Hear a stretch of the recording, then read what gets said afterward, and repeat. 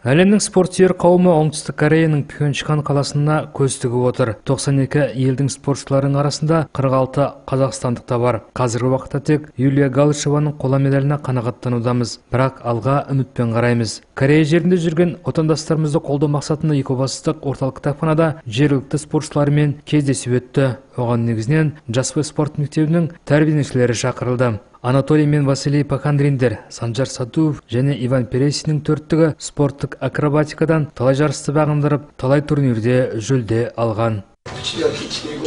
Біз төрт жылдан бері бірге дайындалып жүрміз. Спорт бізге ұнайды. Бетімен жүргеннен гөрі спорттың бір түрімен айналысқан жақсы. Біздің бүгінгі мақсатымыз Бельгияда сәуір айында өтетін халықаралық турнирде бірінші орын алу. Станислава Тарасова жаспай спорт кешенінде суда жүзумен айналысады. Қатысып жүргеннен бері ол да тек өзін жақсы жақтарынан көрсетіп, еліміздің мақтанышына айналған. Өйткені ол халықаралық деңгейдегі жарыстардан да жүлде алып жүр. Акробаттар сияқты ол да күніне 3-4 сағат жаттығады. Каждый день без выходных.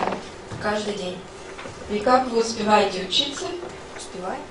Бапкер Наталья Сафроновның айтуынша Станислава алғашқы рет 6 жасында келген. Келісімен ақ жаттықтырушылардың бүкіл айтқанын орындап, өзінің дарындылығын байқатқан. С первых занятий она... алғашқы жаттығудан ақ ол тамаша нәтижелер көрсете бастады берілген тапсырмаларды техникалық жағынан дұрыс орындады өзімен жасты балалардан әлдеқайда артық болып жақсы жүзуші ретінде өзін көрсете алды Еркін күрес секциясы да талантты спортшылармен мақтана алады. Бұрынғыларды айтпағанда бүгінгі Ефим Труш, Омар Медов, Жаслан Ұлғасовтар олардың ізін абыроймен жалғастыруда. Спорт менің өмірім деген Жаслан өзінің құрдастарына мынандай ақыл береді.